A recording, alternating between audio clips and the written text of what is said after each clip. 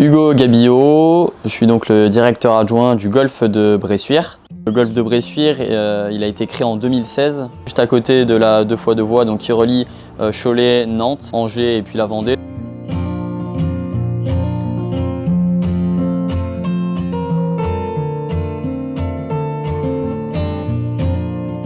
On a un restaurant ici, nous, qui est géré par un privé, la table du Puchot, qui vous accueillera euh, du lundi au vendredi, midi et soir. On a un poste de practice euh, de 8 postes couverts, un studio d'enseignement en intérieur avec la technologie Trackman, donc un, vrai pôle d'entraînement et également une T-line en herbe. C'est une vraie volonté, nous, de la ville, de Bressuire et du golf, de pouvoir rendre le golf accessible à tous et d'avoir un bon outil pour développer aussi bien des nouveaux pratiquants que perfectionner ceux qui jouent déjà au golf ici. Il est entretenu sans produits phytosanitaires.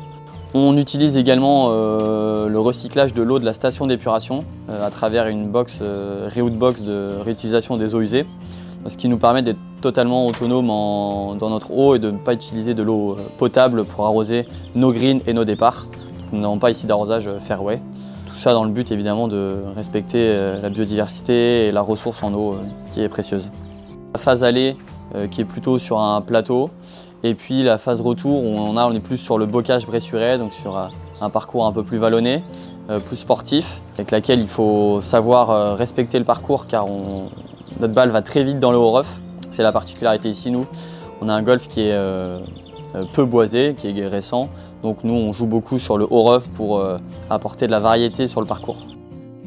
Trou signature, c'est le trou numéro 14, donc un par 5, un peu plus de 500 mètres qui est très très étroit, la mise en jeu est très compliquée, en dévers également. Donc le premier coup est compliqué et le deuxième coup euh, également. Euh, c'est un trou qui a été dessiné par euh, Yves Bureau, l'architecte, et qui nous donne une vue plongeante sur la ville de Bressuire derrière. c'est un trou sur lequel il faut vraiment être prudent sur sa mise en jeu et ne pas vouloir l'attaquer. le bogey sur ce trou est un bon score.